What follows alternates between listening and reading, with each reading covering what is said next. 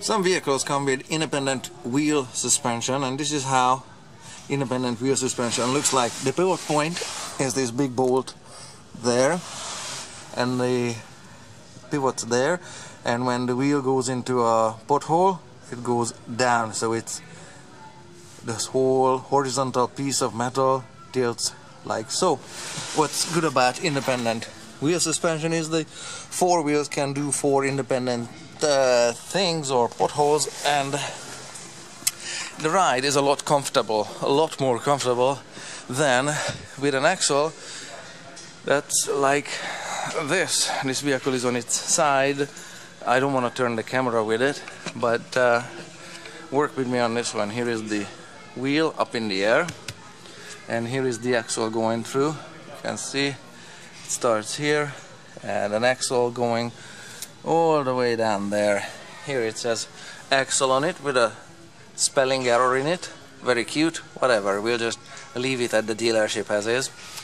And you can see that this axle has been made out of this 1 8 uh, thick steel painted. It's got a round rod in it but this is not rotating. It's not doing anything there. It's just a brace. And uh, pivot point is here and when the wheel goes up and down it's pivoting there. But with it the whole axle is pivoting all the way. So so one side moves the other. And this is not an independent wheel suspension. This is a this is a full axle. And uh, this one is less comfortable, but typically is stronger than the independent wheel suspension.